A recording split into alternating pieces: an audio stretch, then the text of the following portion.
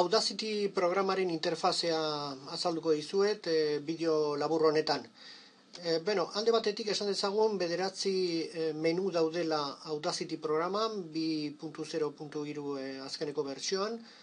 Alde batetik e, artxiboa eta hemen e, sortu aldu beste artxibo bat, beste interfaze bat e, irekiko genuke, esate baterako klik egin eta gero ikusten da, berriro e, joan gaitezen aurrekora.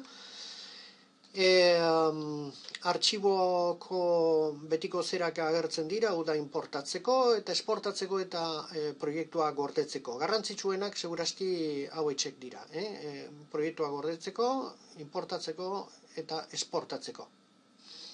Beste alde batetik, e, bigarren e, menuan editatzeko menuko aukerak ditugu, kopiatzeko, duplikatzeko eta bar, gero ikusteko, beste alde batetik e, kontrolatzeko, reproduzitzeko eta betiko e, zerak, e, aukerak, e, naiz eta e, gero interfazean beste modu batez ere agertzen diren.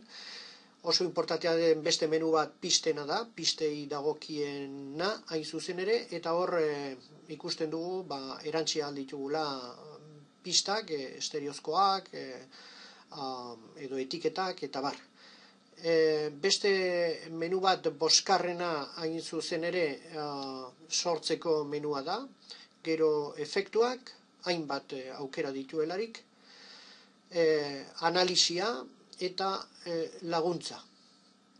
Bueno, bederatzi e, menu hauek e, garrantzitsuak dira, baina e, seguraski zuentzat nahikoa izango da, oso importante izango da, hain zuzen kontrolatzea hemengo botoi hauek alde batetik daukagu pausa botoia, gelditzeko botoia, beste alde batetik gehienetan erabiliko ditugunak izango dira etengabe gorria grabatzeko, grabatzen hasteko eta geldi, geldi arazteko hain zuzen e, ba, lauki horia daukana hause da.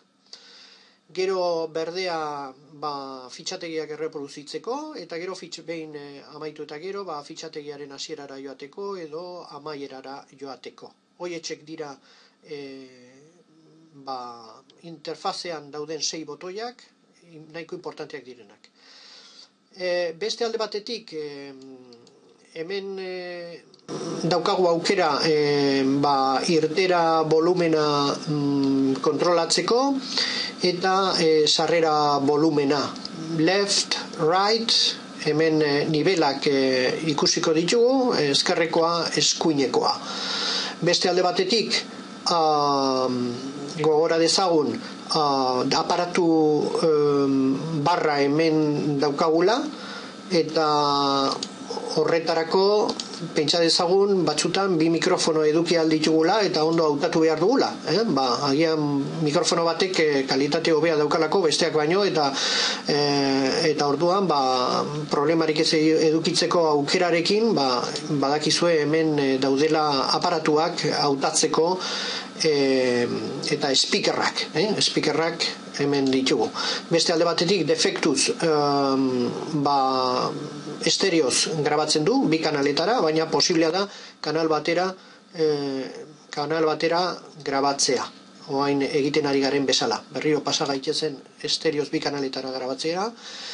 Eta mm, e, interfazean e, ba, e, oantxe, oraintxu e, grabatu dute zer bat, eta hemen ikusten du audio uina, bi ezkerrekoa eta eta ezkerrekoa eta eskuinekoa, eta asko ditugunean, pista asko ditugunean, ba, hemen daukagu klip e, egiteko aukera eta ba, txiki txiki uzteko pista bakoitza, Oso importantea den beste gauza bat, e, ba, interfazearekin bukatzeko, e, frekuentzia. Hau da, proiektu bakoitzak euki behar du frekuentzia bat, eta normalian defektuz e, berrogeta laun mila eta eun agertzen da, mm, ertzio horiek e, ba, nik uste nahikoa dela, e, ez da zede kalitatea, baina hurbiltzen da eta nahikoa izan daiteke grabazio ona egin alizateko. Oso sibaritak izan ezkero, jakina eun da e, larogeta amabira,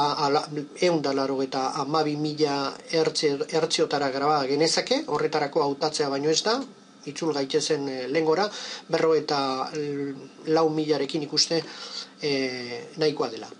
Bukatzeko um, esan dezagun e, dena daukagula erraz-erraz egiteko, interfaz e, honetan, eta segurazki egingo dugun lehenbiziko gauza izango da zuzenean grabatu, mikrofonoa aurrean daukagularik, orain egingo dugun bezala.